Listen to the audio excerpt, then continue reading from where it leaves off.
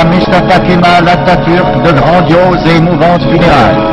Toute la population d'Istanbul, étreinte par une immense douleur, vient s'incliner devant la dépouille de l'homme qui, en 15 années, a accompli une révolution sociale sans précédent dans l'histoire des peuples musulmans. C'est pourquoi le peuple turc lui a donné le surnom d'Atatürk, père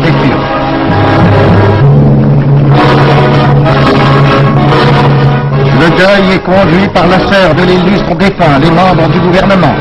Vient ensuite la délégation française, ayant à sa tête M. Albert Sarraut.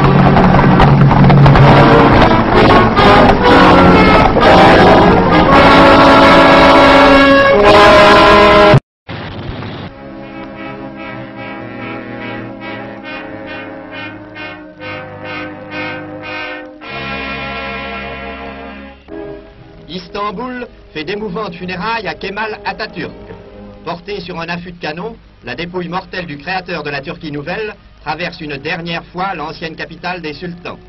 Derrière le cercueil viennent l'ancien roi d'Afghanistan, le président du conseil, les autorités civiles et militaires d'Istanbul et enfin les étudiants portant d'innombrables couronnes. Des dizaines de milliers de Turcs sont massés tout le long du parcours.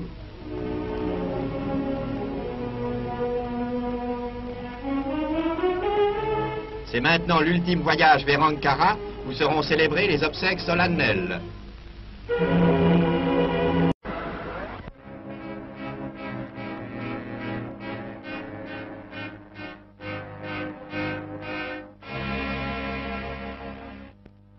D'Istanbul, le croiseur Yavuz, à bord duquel se trouve la dépouille mortelle de Kemal Atatürk, est salué par les navires de guerre qui vont l'escorter jusqu'aux rives d'Anatolie. À Ankara, le cercueil d'Atatürk, enveloppé dans les plis du drapeau rouge à étoile d'argent, est exposé devant le perron d'honneur de la grande assemblée nationale de la capitale fondée par lui.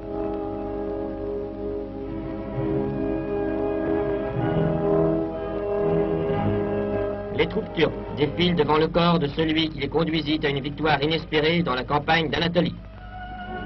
Puis, le cortège se met en route. Tout le peuple des montagnes voisines est venu assister aux funérailles, et une foule immense et recueillie s'est massée tout le long du parcours.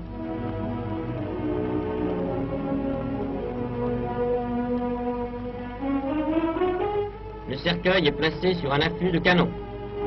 Derrière vient la sœur d'Atatürk, le nouveau président Ismet Inonu, suivi de tous les membres du cabinet et des délégations étrangères. En tête de celle-ci, la délégation française conduite par M. Albert Sarraut. Les troupes composant les différents détachements étrangers, parmi lesquels on reconnaît les Anglais et les fusiliers marins français.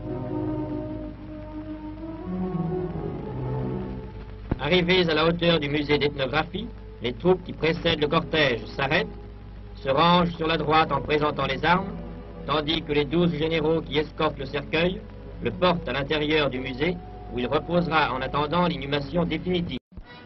Dans la rade d'Istanbul, le croiseur français Émile Bertin, à bord duquel se trouve M. Albert Sarraut, et les navires étrangers rendent les honneurs à la dépouille mortelle de Mustafa Kemal.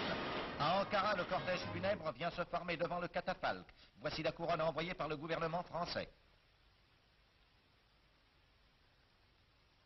Douze généraux turcs placent le cercueil sur l'affût d'un canon.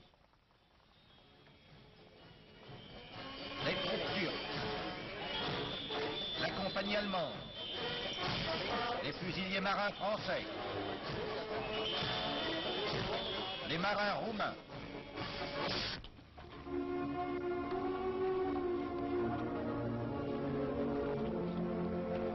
Monsieur Ismet Inonu, le nouveau président de la République turque.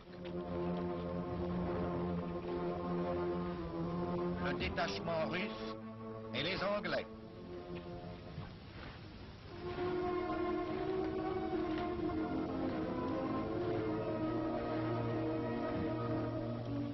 Le corps du grand homme d'État turc reposera au musée ethnographique en attendant que lui soit construit un mausolée dans ce musée qui est son œuvre et devant lequel le peuple turc reconnaissant avait déjà de son vivant placé son effigie.